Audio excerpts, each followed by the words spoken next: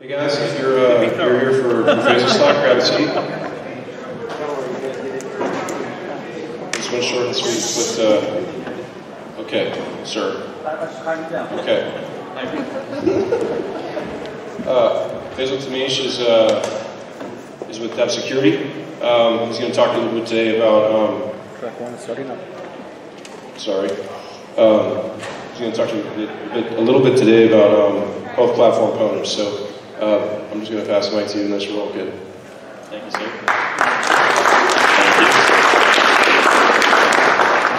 All right, so greetings, everybody. Uh, my name is Faisal, and uh, the title looks a little different. It's medical exploitation. That's actually the title of the blog, but uh, you were at the right talk for health platform pwnage. So this talks about a recent project that we did at Depth, and basically uh, we were able to exploit a glucometer, which is a device that measures your blood sugar level. You poke yourself in the finger, uh, measures your blood sugar, and then it synchronizes with a mobile device, and then that synchronizes up to the cloud. Great. So, a little bit about me. Uh, I'm a penetration tester and I do some security research. Uh, my interests are in uh, red teaming, intelligent fuzzing, reverse engineering, and binary exploitation. So I like, these are not things that I'm great at, I'm always trying to improve in. Uh, and then when I'm 40 and retired, this will make sense in a bit, uh, I would like to look into sentient intelligence and uh, like the primal cerebral connection in the brain. So it's not just doing algorithms and stuff. I'd like my fridge to talk back to me and call me out on my crap. So something else that I like is uh, combat sports and music. So if you'd like to come talk to me, let's talk about that. So a little bit of backstory about uh, the actual project. Uh, our CTO and hacker-in-chief, Jake Reynolds, uh, wanted to come up with some research projects for us to do. And uh, one idea he had was this glucometer. And that black-looking device thing in the middle, that's the actual hardware device that I was talking about just earlier. And we thought it would be impactful research because if there are some security flaws in this, it would affect the health industry and we'd like to contribute to that in some way if possible. So the attack vectors for the glucometer obviously are how the Bluetooth device, you know, the actual hardware device, synchronizes to the cell phone. So that's one thing we could look at. And Bluetooth always sounds super sexy. It's like, wow, let's do some Bluetooth hacking. Or there's also the uh, web exploit, mobile exploitation aspect, which is like how does how, how securely does the mobile device synchronize its data to the cloud? So the summary here is that through five low or medium severity vulnerabilities, uh, we were able to compromise every single user's data and modify any user's data on the platform. That includes their uh, glucose level readings and their required daily insulin dosage. So this is where we start getting a little bit more technical, and this is the first vulnerability. So the way the device talks to the backend, right? Uh, the first thing we had to bypass was certificate pinning. So there was certificate pinning implemented, and what that means is this. In order for us to look at the requests that are happening from the cell phone device back to the backend server, we need to proxy it through some sort of program, you know, like Burp or something. Now, the program will actually check to see if it's talking to the right thing, to the right server, the right backend, before it allows, before it actually sends any requests. So we need to bypass that. There are a couple ways to do that. Sometimes, if the certificate is placed uh, in a predictable location, uh, somewhere in the root directory or something like that, um, then we are able to change it and have the program actually utilize the certificate. Um, there's also runtime hooking using a tool like Frida, and uh, I highly recommend you guys check out uh, James Kennedy's talk in a little bit. He'll be going through the mobile stuff in a lot more detail than I will be. Um, I believe that's at 415. The way that we did it was uh, using the Burp Mobile Assistant, and this is a tool that basically is the easy button where you're able to inject into an app of your choosing, and then now you can bypass certificate pinning, and you can look at any requests happening from the uh, cell phone device to the backend. So I, now I know the post requests, the get requests, any web request that's happening, I can look at that pretty easily. Great. Now the second uh, vulnerability is a pretty common uh, web application vulnerability. It's uh, IDOR, or Insecure Direct Object References. And basically, when you're logged in as one user, I have an ID, and that typically correlates to the user that I'm looking at. That's how the web application works. But we were able to change that user ID to any other number, and that returned a different user's information, but there was a catch. The information that came back was encrypted, and that means that the chunks of encryption look different from user to user. It wasn't straight up that information, you didn't just get back the information. And here's a little bit of a screenshot. I don't know how clear it is, but the arrow that points to the top there, that's basically a request response uh, repeater Burp tab thing. But you change the user ID at the top, you get a different encrypted blob at the bottom. So by changing the user ID, you get a different encrypted blob. So that's a good hypothesis at this point that, hey, this might be somebody else's data. Great. So we need to dig deeper. Great. So the third vulnerability now, by digging deeper, we need to break the encryption. So in order to do so, we need to start reverse engineering the mobile application. Of course, all of this was happening on a uh, jailbroken iPhone or Android, which is a prerequisite in order to do the hooking stuff or any of that fun stuff I talked about earlier. Our reversing options are, you know, there's the iOS application and the Android application. We could either work with the IPA, and the IPA is basically going to entail reversing uh, ARM assembly, and that's a little more sophisticated, and that's not the simplest route to go about this. Reversing is fun, but I don't really want to do more work than I have to if there's a simpler way. So the other way is uh, reversing the Android APK. And this is where the weak obfuscation comes.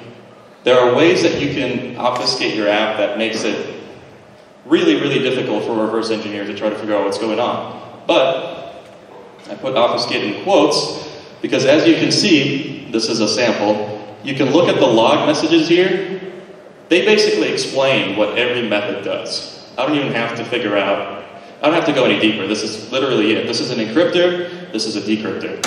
And then also, it's telling me the cipher uh, instance that I need to use, so the, the encryption type. Great, so the highly descriptive log messages kind of rendered any obfuscation useless. So even if the variable names are different, you know, the method names don't mean anything, well, I know exactly what they're doing, so I can easily fill in the blanks.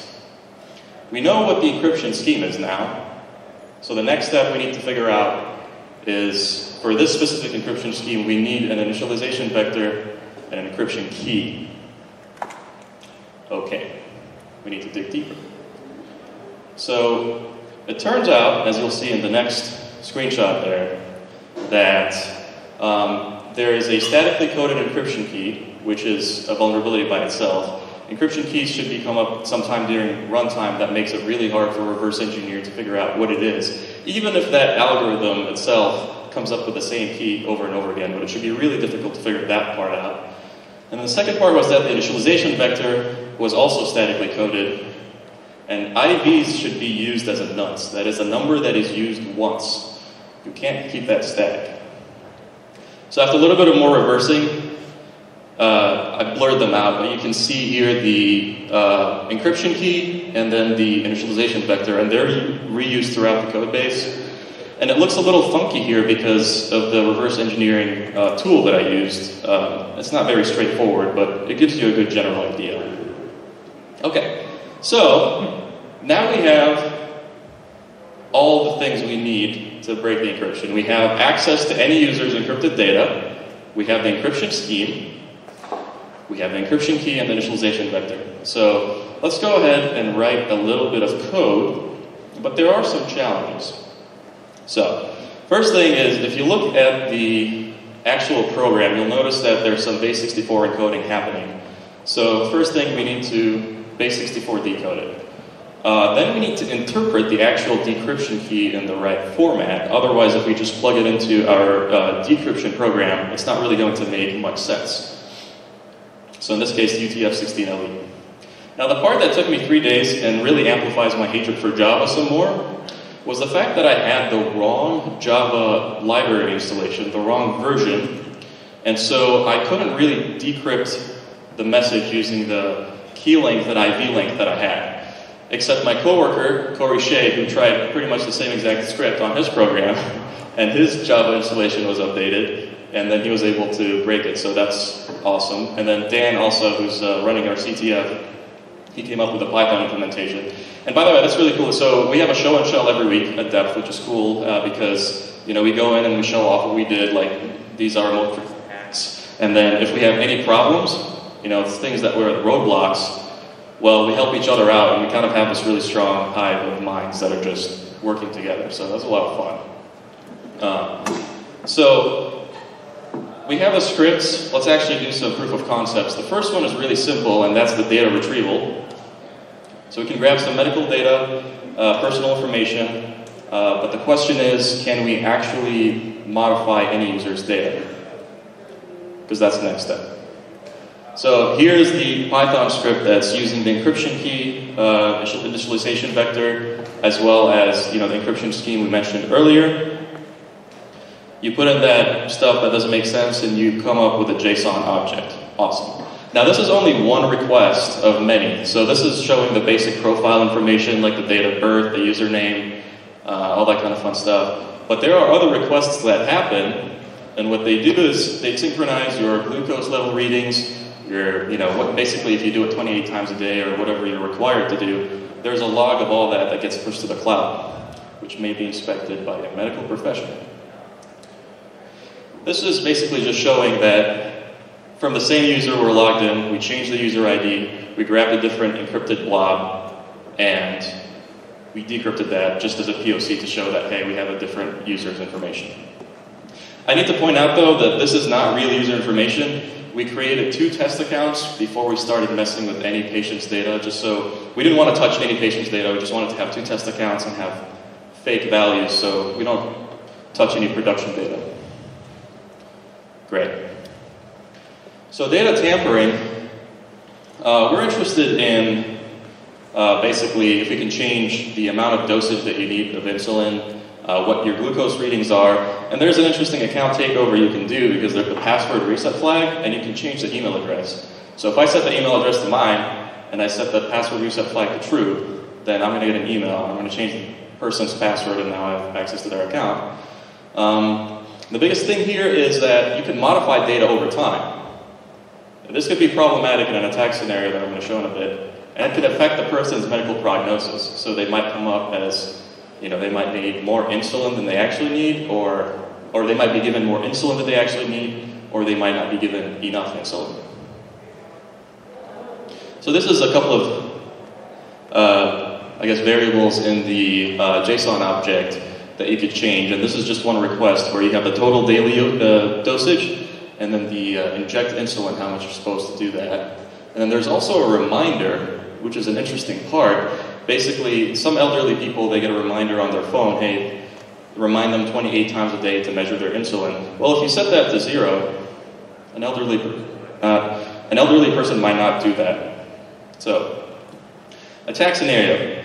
Grandma is rich, and her ethically questionable grandkids want some inheritance money to come a little sooner. So, you basically figure out what grandma's user ID is, and then you have access to all of her uh, glucose readings and how much insulin she needs every day. Uh, if you do that over time, let's say you get a one month trial, you know, you're measuring your blood sugar level to actually figure out how much insulin you need, um, you can actually affect that so that when they go in for the next appointment, they're like, well, you're actually not that, you know, you, your diabetes or how much insulin you need is not that much, so we're going to reduce your required dosage, and that could actually cause some health issues. Rest in peace, grandma, she died recently. Okay, so the timeline for this, and a lot of people uh, underestimate, is that these things take like a day or two to do. You know, like you find a cool O day on Twitter, and then you get a lot of credit and CVs, but it actually takes a long time. It takes about six to eight months because you have to give the uh, company three months of responsible disclosure. You know, you can't tell anybody, and you have to work with them to help remediate it. Uh, if that's a thing that you'd like to do, you know, it takes time. Um, so I disclosed in October 15th of 2018, and we didn't publicly disclose this until February 14th, which was pretty recently, and that doesn't include any of the research time. So the one thing that I guess my takeaway for this is um, none of these vulnerabilities can stand on their own. And in fact, if you want to, if you did a pen test or a mobile application assessment, whatever, and uh, you said, you know, you have these vulnerabilities, some people will not be inclined to fix these because they're low severity. They're like, well, we're going to fix mediums and above. But hacking is not necessarily just finding that, you know, one cool vulnerability and you take it, you know, this is a critical severity vulnerability, fix it. No, hacking is an art. When you hire a hacker, you're hiring an artist, and they're chaining exploits together. Uh, vulnerability is actually like low severity vulnerabilities to eventually bring down an entire corporation.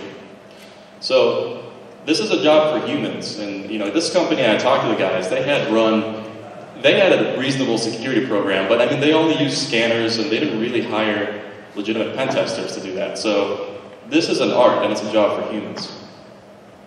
Anyway, uh, that's all. Uh, I'll take any questions.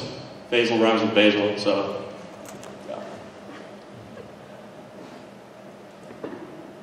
Yes, sir. I have a question. When you start thinking about cost of a vulnerability or of penetration, particularly in medical devices, how do you start assessing that cost, or how do you see the client accepting that cost? Because this is definitely a different cost formula than just single loss So risk assessment. Um, that's something you should ask for a CISO, but I'll answer that question. So, uh, trying to figure out what's worth what is really hard. It's always subjective. I mean, if you, you know, what, what's the value of a human life? If you talk to a lawyer, right, and they'll come up with some value based on the context. But um, the thing that concerns me is that uh, people are taking security, like they're becoming more complacent, and people keep saying things like, "Oh, well." Um, we're commoditizing testing. You know, we're, we're making all these uh, scanners and they're super smart, AI, machine learning this, fuzzy logic that. But at the end of the day, the more complacent you become, the more the hackers that really know what they're doing, you're making them super powerful. And that's not something that we want. We want to be able to hire people that are really capable on the white on the white hat side, and then say, okay, show us what you got, show us what you can do, and you know, in terms of cost, really depends on context. You know, there's no real good answer for that. Any other questions? Yes, sir. In this case, what was the cost for the organization behind this finding? So actually, the, uh, the organization was really friendly to work with, uh, but in this case, we had, you know, you can count between 2.5 to 5 million records of people that, you know, we have access to all their uh, glucose readings, uh, insulin requirements. I don't know what would that would translate to a per record value, but let's say that each record, you know, the government fined them $10.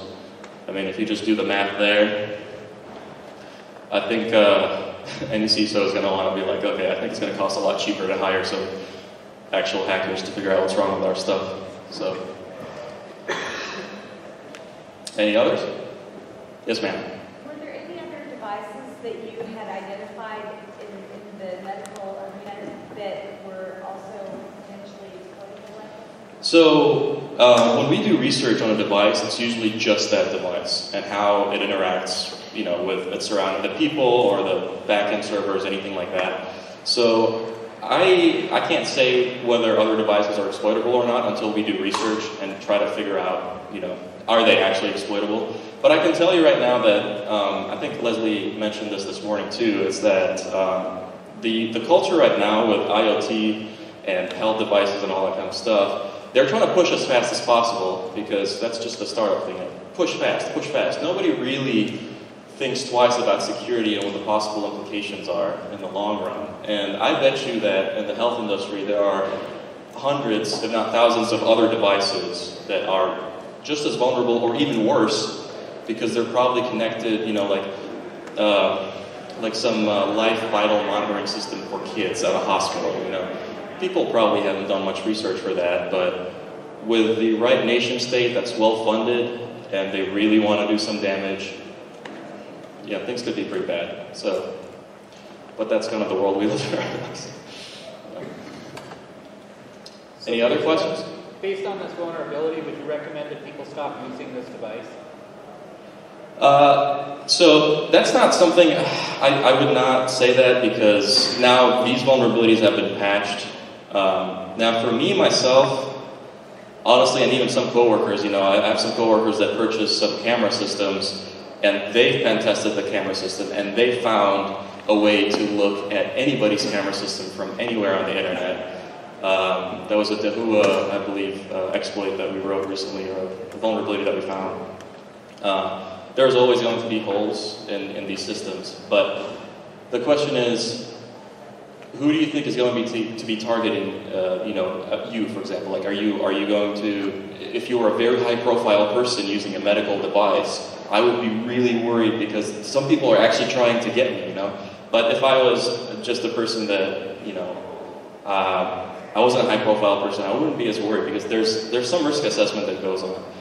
At the end of the day, I'm, I always think twice about any devices that I'm using. In my own house, I have zero smart devices. I don't have any of these lights or any of that thing. I'm, I'm the most analog person you could find when it comes to all this stuff, just because I kind of have trust issues with these things. So, because I know I can break them. So.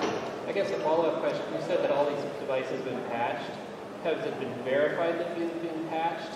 Because there are certain medical devices that have been recalled and should be out of the medical industry, yet those devices are still in use because they have to. Right. Um,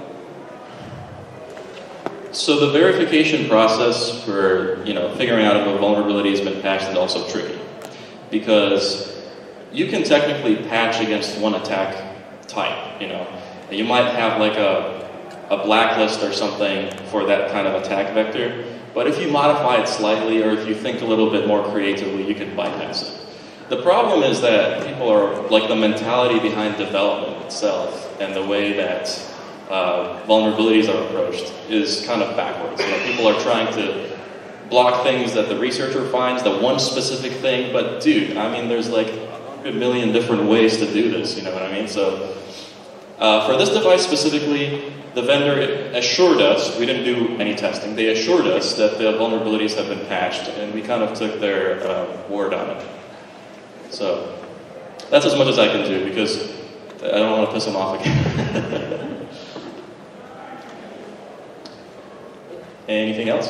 In the case of this, where it's a, in this case where it was a medical device, was there any other sort of, besides just the company itself, that you felt you needed to reach out to to inform about this, or So, so is your question, was there other people that we needed to reach out to? I mean, any sort of regulatory or any? Yeah, actually we did. Uh, we reached out to uh, a couple of organizations, and I honestly don't remember the acronyms right now, but uh, the reason I don't remember is because they didn't respond. Uh, and I tried reaching out to them a couple times. Uh, it, it's, it's really hard to get people to hear you out, and even when you have a POC, when you're like, dude, I mean, I can read and modify anybody's data on this platform. Um, I think the mentality is just they, they don't care unless there's direct financial consequence. There's a direct threat to their livelihood that, oh crap, we're going to lose $15 million. Let's dump this money into penetration testing, into, you know. And that's, like I said earlier, that's the world we live in. We have to threaten their livelihood by losing money, basically, in order for them to invest in these services. You know? so.